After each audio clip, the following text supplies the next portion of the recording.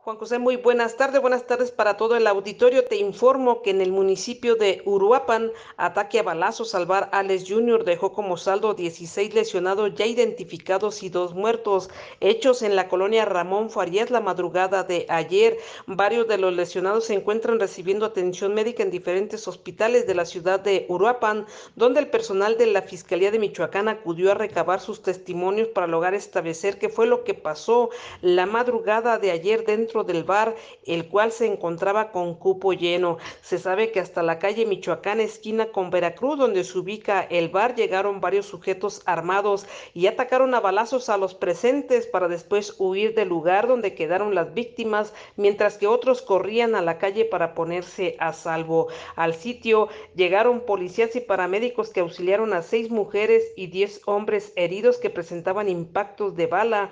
Hasta el momento se ha identificado a uno de los como David B., de 22 años de edad, mientras que un segundo masculino está sin identificar y es de aproximadamente 30 años y su cadáver se encuentra en el área del CEMEFO de la Fiscalía. Los hechos son investigados ya por el personal de la Fiscalía de Michoacán para tratar de esclarecer el móvil del atentado y detener a los presuntos responsables.